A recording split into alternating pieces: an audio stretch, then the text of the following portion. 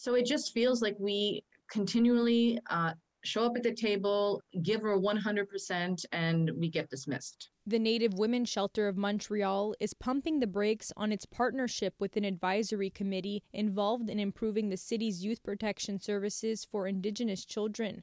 Nakuset, executive director of the shelter, says they've enlisted the help of the Center for Research Action on Race Relations because after a number of reports and public inquiries, they haven't received any concrete commitments of action or change from the Batshaw Youth and Family Center, dedicated to serving English speaking Montrealers. We had a series of meetings but unfortunately, everything that we put forward in terms of concerns, in terms of concrete steps, they were completely ignored and not even um, like they didn't even show up in the minutes. It was ve- it was very strange. So after a couple of meetings, we just decided that it was probably best not to attend these meetings because we were it seemed like we were just wasting our time. In 2019, the Native Women's Shelter took part in a report, One Step Forward, Two Steps Back, that provided recommendations for youth protection and outlined examples of systemic racism Indigenous families face. Inuit children and their families are told not to speak their first language of Inuktitut when on supervised visits. And in 2013, we saw that there were no statistics indicating actual numbers of Indigenous children in care.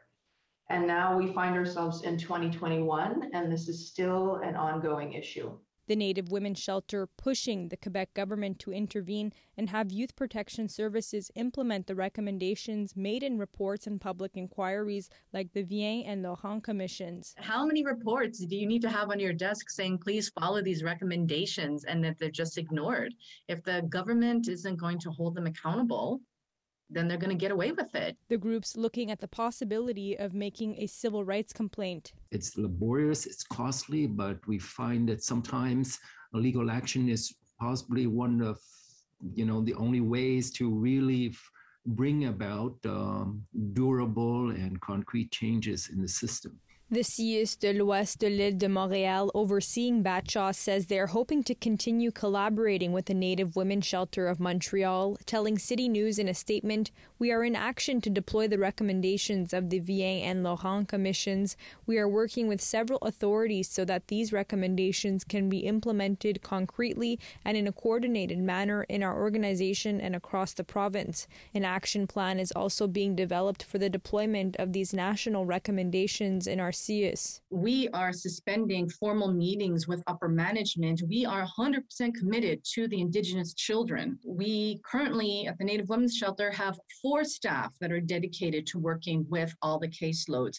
That in the last year, we've had already 50 families that we have supported. We have a waiting list. So we are the ones that are literally doing the work.